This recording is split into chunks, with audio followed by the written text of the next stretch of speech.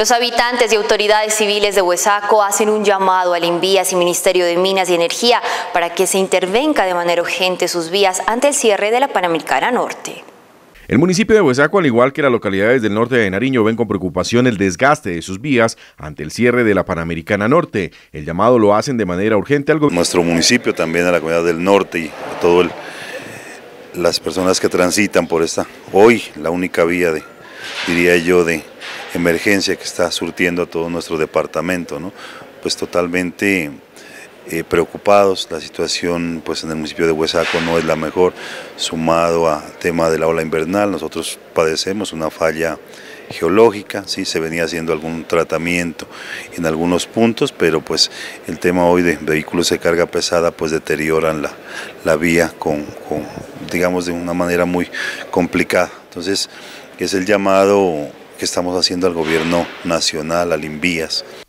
Una vía alterna podría ser una de las alternativas para comunicar al norte del departamento, pero el proyecto no tiene aún un estudio técnico que pueda avalar la iniciativa. Que puede ser viable, ¿no? Pero pues el tema es la la inversión, el tema es los estudios y diseños. Bueno, ese será un proyecto que ojalá a, futuro se pueda mejorar. Pero mire que, que el tema hoy con el tema de, lluvias es general, ¿sí? ya casi no es nomás en el municipio de Huesaco.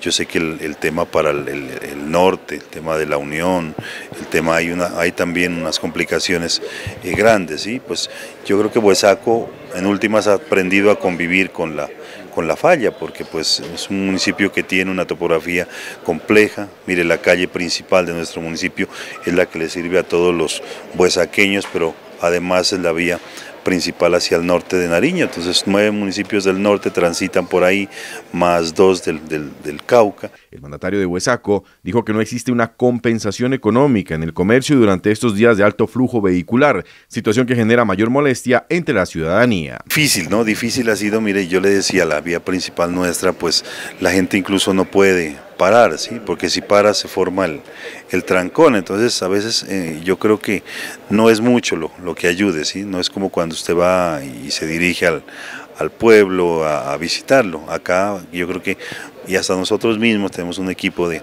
trabajo que tiene que estar diciéndole a la gente, bueno, siga, siga, siga, porque se forma el trancón. Entonces, en ese sentido yo creo que no ha sido tan, tan beneficioso, ¿sí?